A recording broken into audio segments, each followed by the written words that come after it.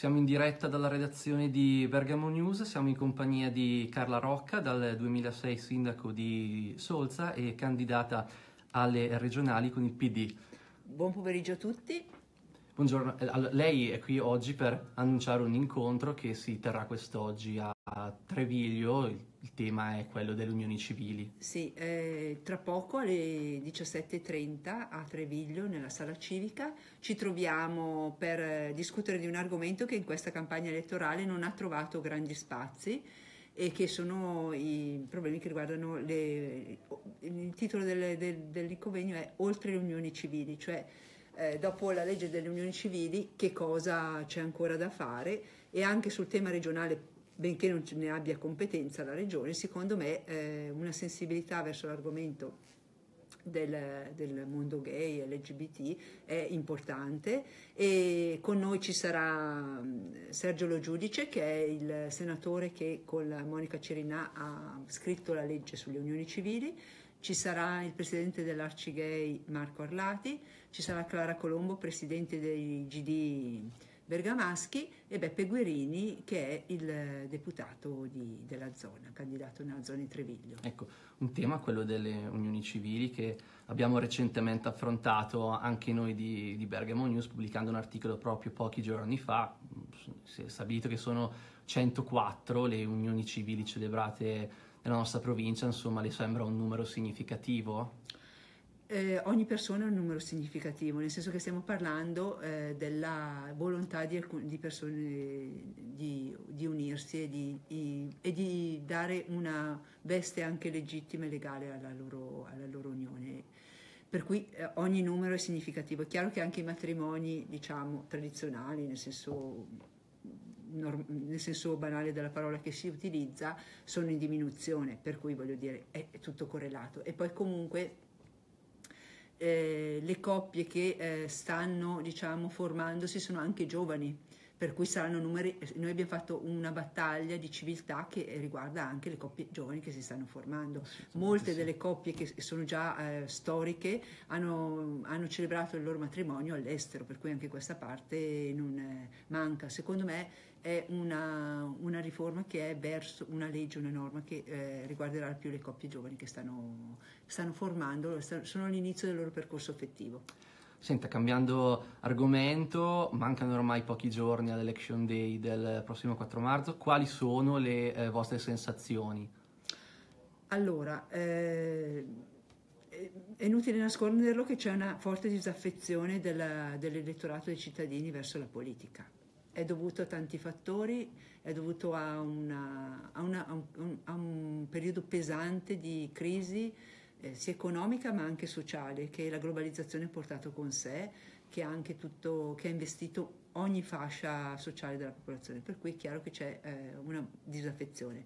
Sul tema regione, secondo me si gioca una, for- una grossa battaglia e quello che, e secondo me lì si sente di più la, la necessità, eh, quello che stiamo facendo come candidati è quello di far capire che si sta giocando eh, per, eh, una grande partita che dopo 23 anni può vedere veramente questa regione ad una svolta, ad un rinnovamento che anche solo una, per una questione veramente, eh, lo dico in modo laico, diciamo, mi passi il termine, eh, anche solo per una regione di ricambio che è necessario, ha bisogno veramente di una nuova, di linfa vitale. Senta, eh, ci parli un po' quali sono i eh, punti cardine del suo programma, insomma ci sono dei temi che eh, le stanno a cuore più di altri? Per esperienza amministrativa Solza è sempre stato conosciuto per un, eh, per un, comune che ha fatto della battaglia ambientale una battaglia eh, sentita. Abbiamo fatto diversi interventi, abbiamo fatto stop al consumo di suolo quando ancora non era di moda dirlo abbiamo fatto interventi di riqualificazione tecnologica sulla pubblica illuminazione e, su alt- e sul fotovoltaico, per cui abbiamo sempre avuto una sensibilità e un, abbiamo sempre cercato di, di, mettere la nostra amministrazione in, quel, in quest'ottica. È chiaro che in un comune piccolo più di tanto non, non si può incidere, non puoi cambiare le sorti della, della regione eh, partendo da un comune di 2000 abitanti. Per cui mettere a disposizione a valore tutta questa esperienza, 18 anni di amministrazione, che ho alle spalle, secondo me eh, diventa, può servire.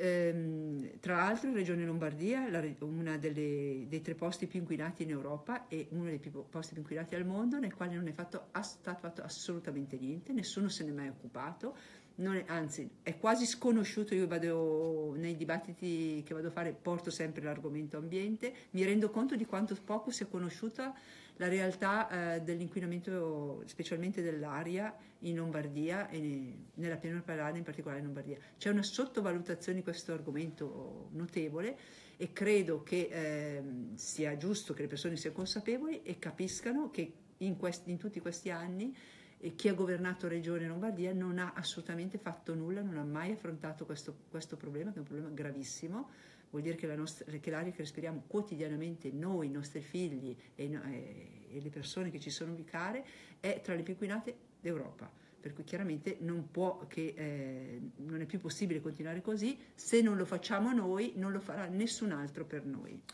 Ecco, al di là del focus sull'ambiente, ehm, la eh, domanda è perché insomma eh, PD sarebbe un'opzione più credibile rispetto alle altre, insomma, perché i cittadini lombardi dovrebbero scegliere voi? Perché abbiamo candidato eh, presidente migliore, prima di tutto. Giorgio Gori è, eh, un, ha dimostrato capacità di fare squadra, capacità di sintesi, capacità di governo, è un uomo che ha,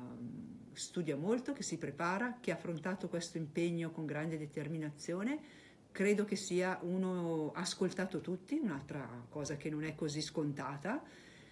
Il suo programma è stato eh, costruito a più mani, con, eh, è stato molto curato, ogni scheda del suo programma aveva la declinazione dell'impatto ambientale, cosa che non sta facendo nessuno perché è un, argomento molto sottovalutato e, a cui le persone invece hanno, una, hanno aumentato, verso, le persone hanno aumentato la loro sensibilità verso questo argomento e che ha delle declinazioni economiche non indifferenti per cui una capacità di eh, affrontare la complessità e di cercare soluzioni che eh, non ha nessun altro candidato alla, alla regione. Il primo punto è quello, il PD perché è il partito che maggiormente può supportare eh, questo candidato. E perché eh, essendo, stato, essendo, essendo stato anche nel, storicamente uno dei più grandi partiti italiani, ha selezionato una classe dirigente in grado di affrontare questi problemi, perché quello della classe dirigente all'interno dei partiti è un argomento eh, abbastanza importante all'interno del Partito Democratico, proprio per storia, si è potuto, eh, siamo riusciti, eh, ci metto anch'io ovviamente perché sono anch'io candidata, siamo riusciti comunque a costruire eh, delle persone che sono in grado poi di portare avanti e di, di affrontare, di portare avanti i programmi e di affrontare queste tematiche complesse.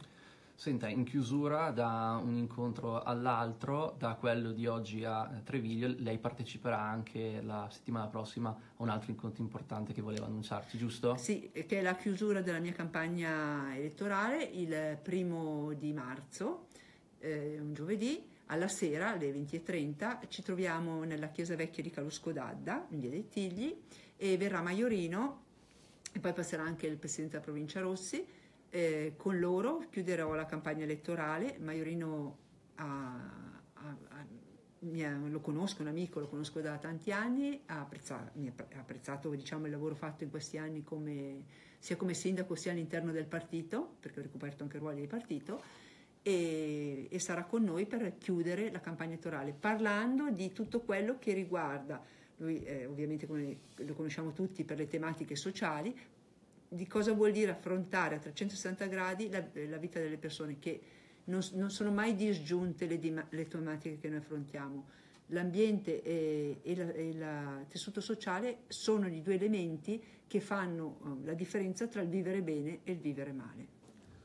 Ok, eh, ringraziamo Carla Rocca per la disponibilità, ringraziamo i nostri ascoltatori per, la, per l'attenzione e vi rinnoviamo l'appuntamento alle settimane prossime. Grazie ancora per l'attenzione. Grazie a tutti e buon voto.